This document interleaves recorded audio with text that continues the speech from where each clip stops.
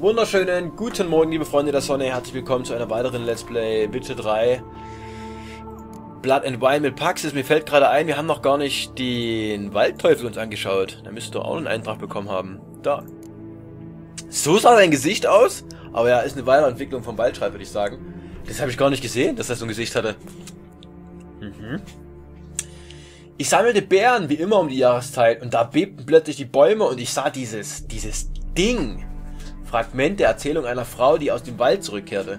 Waldteufel sind eine Unterart jener Monster, die als Waldschrade bekannt sind. Man findet sie in schwer zugänglichen Waldbezirken mit wenig menschlichem Betrieb.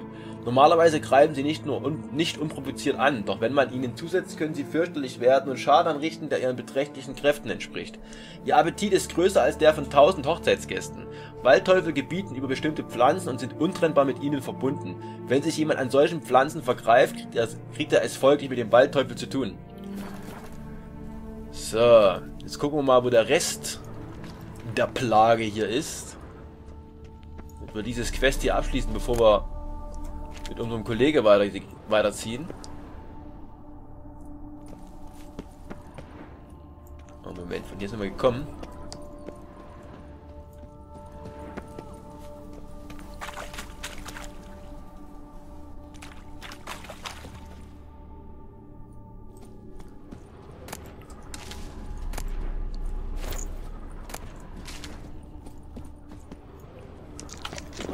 Essen eine leckere Gurke.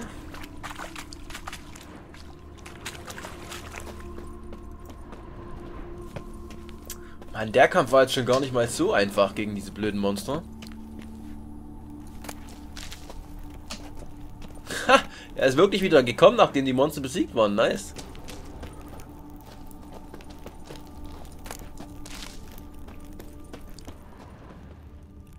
Vielleicht können wir die Quest auch gar nicht... Ah, doch. Hm, ich hätte vielleicht erstmal rasten sollen, weil ich habe quasi nichts mehr außer einmal den Absolut.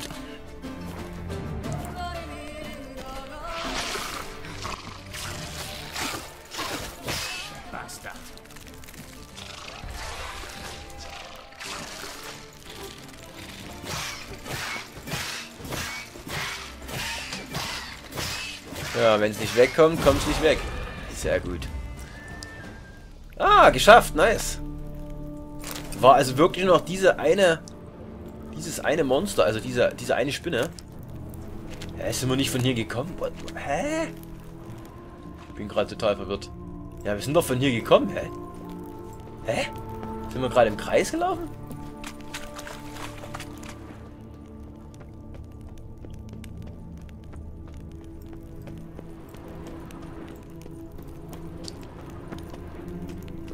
Tatsache, wir sind im Kreis gelaufen, okay. Ja, dann holen wir uns jetzt erstmal die Belohnung ab und... Ah ja, genau, das war richtig. Jetzt holen wir uns erstmal die Belohnung ab und dann machen wir die Quest weiter von Graf Beledal. Aber es müsste ja trotzdem ein spannendes Abenteuer für ihn gewesen sein. Wenn er da... Da habe ich gerade... gerade verlaufen? Nee. Wenn er da jetzt mit hier unten war. Mann, ich muss vielleicht kacken. Da ist er. Leg erstmal die Waffe weg. Ich habe keine Zeit für dich. Hä? Heute Abend geht's zu den Glöcknerinnen wie der Blitz. Die Mädels können mich gar nicht erwarten. Gibt es was Neues? Alles erledigt. Bin reingegangen und habe aufgeräumt. Den Göttern sei Dank. Und dir natürlich auch.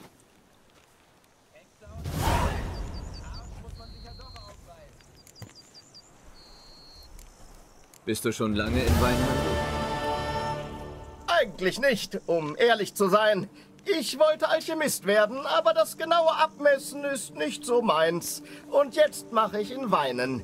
Das ist angenehmer. Man trinkt bei der Arbeit und keiner beschwert sich. Verstehe. Nüchtern kann die Welt bisweilen unerträglich sein. Ich wollte was kaufen. Vielleicht auch was verkaufen. Wahrscheinlich werden wir nicht die Sachen verkaufen können, die wir verkaufen wollen bei ihm, denke ich zumindest.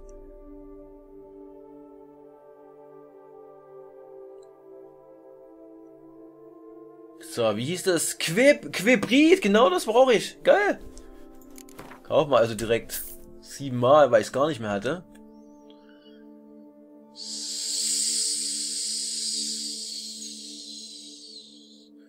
Aber wir brauchen noch weiße Möbel. Und für weiße Möbel brauchen wir, glaube ich, irgendwelchen Alk. Das gucken wir gleich mal nach. Ja, ja. Wusste ich doch, dass er die Sachen nicht kauft. Ich mache mich wieder auf den... Ach, wenn ich nur wüsste, was Charakter... Was auch nicht. So, wir brauchen auf jeden Fall weiße Möbel dafür. Weiße Möbel.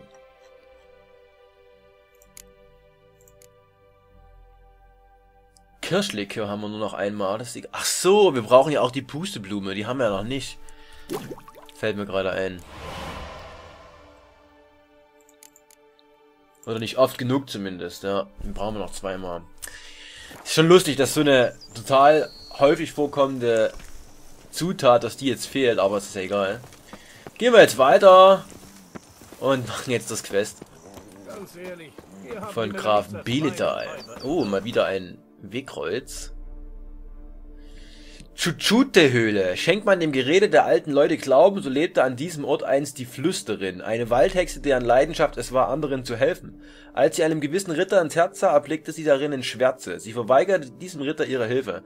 Der Ritter geriet in Zorn und verbrannte die Hexe bei lebendigem Leib in ihrer Höhle. Kurz darauf wurde er verrückt. Er behauptete, eine seltsame Flüsterstimme zu hören, die niemanden sonst hören konnte, die niemand sonst hören konnte und brachte sich um. Sehr schön, ach die arme Hexe. Vor allem, wenn sie gute Hexe ist. So, kommst du mal?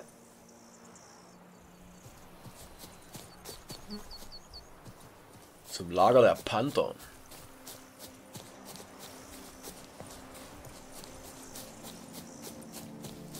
Ich glaube, wenn ich hier mit Plätze reite, bin ich zu schnell. Ist bestimmt ordentlich Kohle bei diesen Auftrag. Ja, recht umfangreich. Karte nach gibt es in dieser Gegend Panther. Ein Grunzen und Schnaufen. Wie von einem Bären.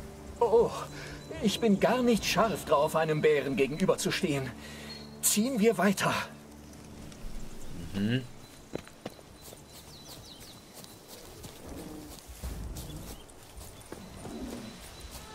Hörst du? Rehe, schätze ich. Du hast ja Ohren wie ein Luchs. Okay, also wir brauchen nur Panther. Da will nur Panther. Oh. Hörst du? Panther. Ich höre gar nichts. Deine Sinne sind in meinen um Längen voraus. Ich muss mich auf deine verlassen.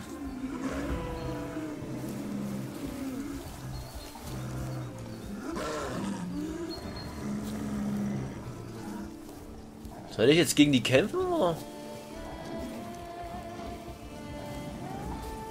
Da sind sie doch. Was soll ich jetzt machen mit denen?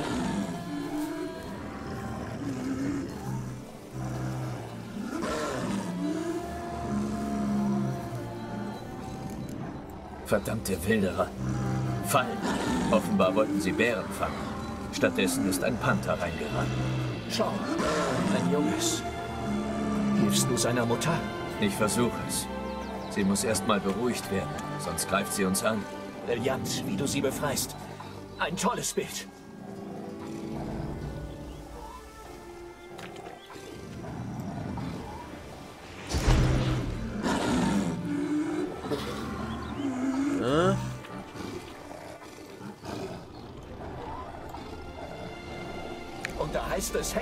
Herzlos. Das hier wird damit aufräumen. Oh weh! Ich habe vergessen, dich zu warnen. Äh, tut mir leid. Der Parestisomat hat eine Leuchte. Du musst wegsehen, sonst blendet sie dich. Der Parestisomat hat die Tiere verstört. Wir verschwinden besser. Ich Aber- kann Wilderei nicht leiden. Ich bin froh, dass du auch so tierlieb bist. Na dann würde ich sagen, entschärfen wir erstmal diese dummen Fallen hier.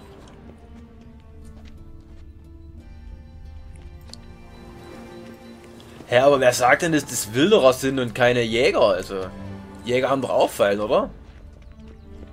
Was ist denn da jetzt der Unterschied? Verstehe ich nicht. Du hast für einen Städter ja vielfältige Interessen. Ich beschäftige mich gern mit schönen Dingen. Wein, Natur, Gemälde, Das Leben eines Hexers ist sicher eintöniger. Bei allem Respekt. Das stimmt. Langweilig ist es aber nicht. Ich könnte mir nicht vorstellen, Tag ein, Tag aus mit den gleichen Kreaturen zu tun zu haben. Hast du eine Frau? Ja. Wieso fragst du? Nur so. Hä, das weiß Geralt doch schon, dass, dass er eine Frau hat. Also nicht Geralt, sondern dass, er, dass dieser Graf eine Frau hat. Suche Riesentausendfüßler mit Hilfe deiner Hexe sind. Psst. Hörst du? Sind das diese... Äh, äh, Riesentausendfüßler leben unter der Erde in Tunneln, machen ein bestimmtes Geräusch. Damit kann man sie finden.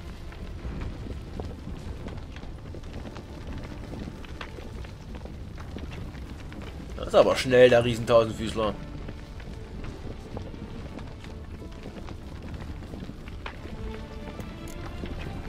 Hier hört man es Monsternest. ganz deutlich. Das Nest muss in der Nähe sein. Da sind wir. also, dieser Aussichtspunkt taugt nicht. Hier kriege ich kein gutes Bild. Na schön.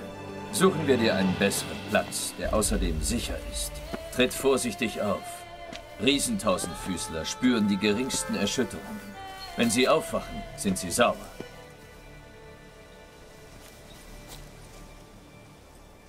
Hä? Woher weiß ich denn, welcher Platz richtig ist? Ich bin jetzt doch drin in so einem Platz.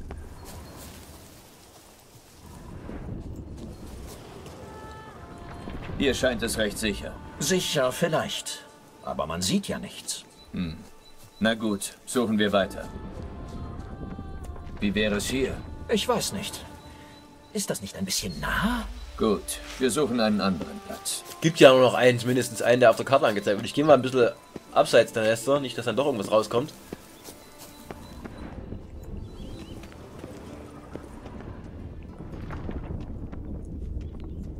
Hier vielleicht?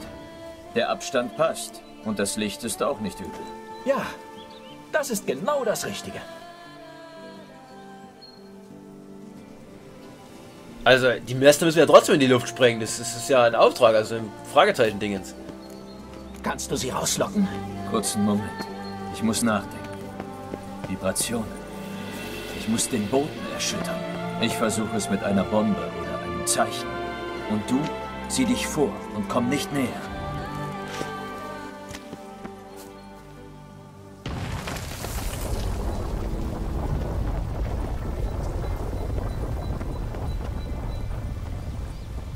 Ich soll die ja nicht umbringen, hat er gesagt.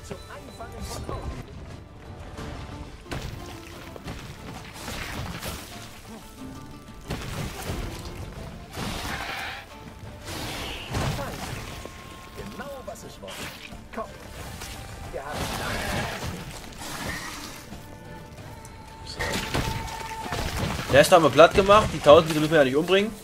Nice. Ich danke dir. Das war einfach großartig. Jetzt können wir weiterziehen. Sehr schön. Warst du schon? Das war einfach toll. Vielen Dank. Jetzt habe ich noch ein Anliegen. Ich will das Balzverhalten der örtlichen Faunen einfangen. Das wäre ganz wunderbar. In der Nähe soll es ein paar Exemplare geben. Wir können hingehen, aber ich würde nicht darauf zählen, dass wir sie beim Balzen beobachten können. Die Saison ist seit einem Monat vorbei. Oh nein, das ist schrecklich. Wie schade. Ich wollte doch so gerne sehen, wie sie ihre herrlichen Räder schlagen. Kannst du sie nicht irgendwie ermuntern? Oder herausfordern? Wie stellst du dir das vor? Womit sollte ich ein Rad schlagen? Mir wächst so schnell kein Pfauenschwanz. Ich dachte eher an Hexermagie. Angeblich kannst du niedere Kreaturen beeinflussen. Äh, ja, ich kann es mal versuchen. Ich verspreche dir aber nichts. Herrlich, ich bin schon zufrieden. Ich weiß nicht genau, wo die Pfauen sind, aber ein Jäger hat mir die wahrscheinlichen Orte genannt. Ich markiere sie dir. Na schön, auf zu den Pfauen. Ich schätze mal, danach ist der Auftrag vorbei. Okay. Ich frage mich, wieso Pfauen? Meine. Meine Tochter ist ganz vernarrt in sie. Es soll ein Mitbringsel werden. Wir sind dicht dran. Halt die Augen offen. Finde die Pfauenspuren mit Hilfe deiner Hexersinne. Eine Rumpfeder mit Talg. Der Pfau hat sie neulich abgeworfen. Ich kann dem Talggeruch nachgehen, dann finde ich die Viecher. Ein Hexer in Aktion. Was für ein Anblick. Das sieht doch gar nichts, nur dass ich in irgendeine Richtung laufe. Zumindest sieht er nicht das, was wir sehen. Wo ist es denn jetzt? So. Die Spur ist aber irgendwie sehr fein. Die kann man nicht so gut sehen, finde ich. Das war manchmal schon besser. Ich glaube, auch nachts kann man dieses Rot besser sehen als tagsüber. Kann die Pfauen auf jeden Fall schon hören.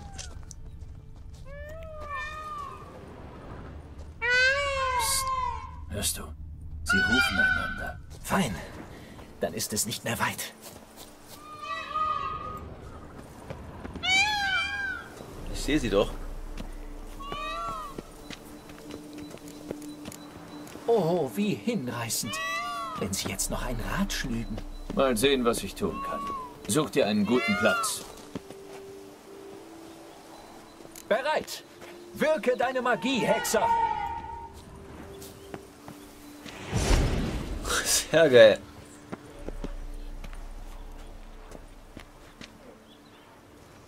Ach, drei oder was? Oh.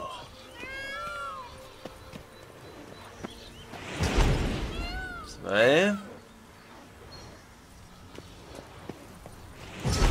Drei. Bin gespannt, ob man die Bilder dann auch sehen kann. Das wird ein Meisterwerk. Bitte lächeln.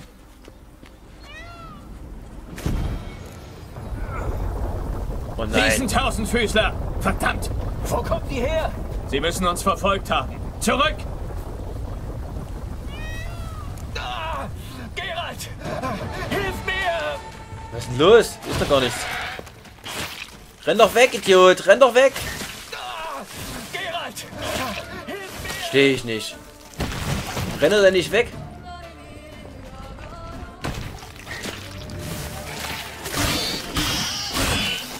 Du willst ja doch einen umbringen.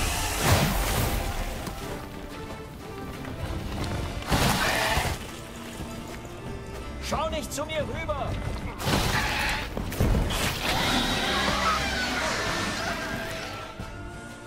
Der war auch neu, der Riesentausendfüßler. Was haben wir denn da? Die faszinierend vielfältige Flora und Fauna Toussaints hat auch einige unangenehme Überraschungen zu bieten. Zu diesen gehören die Riesentausendfüßler. Sie sind nicht nur ausnehmend hässlich, sondern auch noch eine Gefahr für Leib und Leben. Ich kann nur jedem empfehlen, sich von ihnen fernzuhalten. Ein Besuch in Toussaint, einer der zahlreichen Reiseführer von Peterin Safles. Riesentausendfüßler sind gigantische insektoide Monster, die man an vielen Orten in der Welt finden kann, besonders häufig jedoch in der Erde von Toussaint. Sie koexistieren häufig mit Klumaren, mit denen sie eine monströse Symbiose eingegangen sind. Riesentausendfüßler ernähren sich von den kleineren Kreaturen, die den Dung der Klumare fressen. Die Riesentausendfüßler verfügen über einen starken Chitinpanzer, der sie fast vollständig einhüllt. Aus dem Panzer ragen zahlreiche krumme Gliedmaßen heraus. Heraus. Punkt.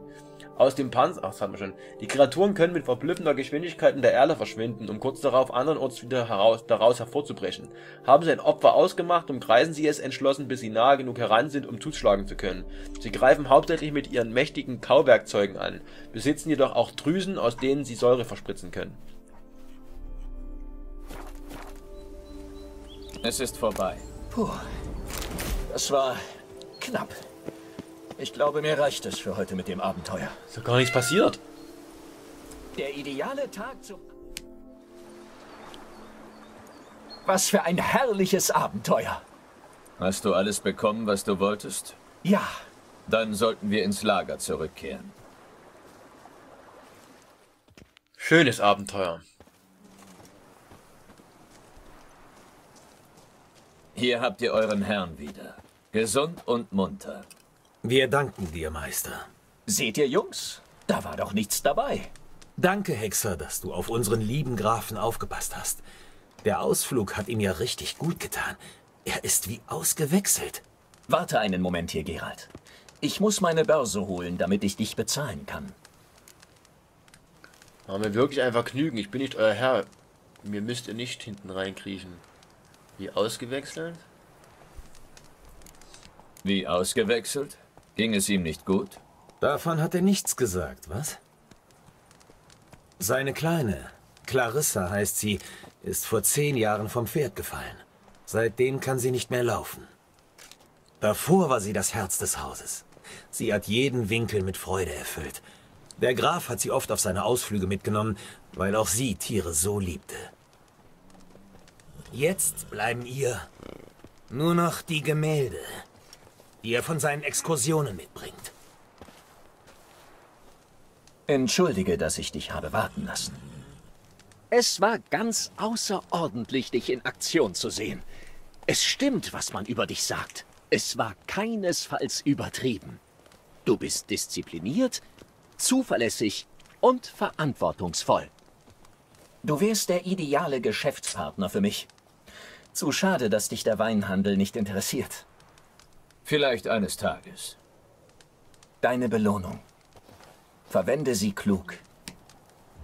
Wir haben doch... Danke. Wir haben ich doch... hätte da noch ein weiteres Anliegen.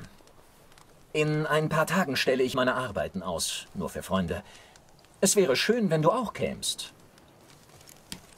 Ah, Warum nicht? Wenn ich in der Gegend bin. Wunderbar. Dann sehen wir uns bei mir.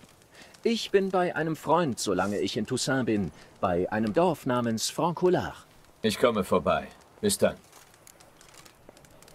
warte bis morgen Mittag und begib dich zum Picknick. Ist das weit weg? Oh mein Gott, das ist ultra weit weg.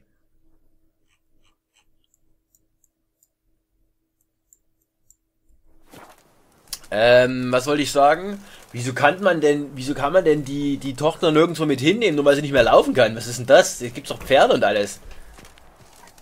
Naja, was soll's. Jetzt gehen wir natürlich nicht dahin, sondern dahin, was ich Alchemiezutaten. Hier kannst du Alchemiezutaten erwerben. Aha. Gehen wir da erstmal hin und... Lang lebe Herzogin Anna Henrietta! Ach so, das ist der Typ, mit dem wir vorhin schon... Ja, hm, hm, hm. Also denke ich zumindest mal. Ach, da ist eine Höhle drin. Ja, komm. Wir gehen jetzt zu der Anschlagtafel. Noch gar nicht so weit weg. Man sieht schon hier von, von hier aus das Dorf. Aber ich würde sagen, liken, kommentieren, abonnieren, wenn es euch gefallen hat. Ansonsten Daumen nach oben, damit wir euch loben. Euer Paxis. Bis zum nächsten Mal. Tschüss. tschüss. Wer nicht täglich Rotwein säuft,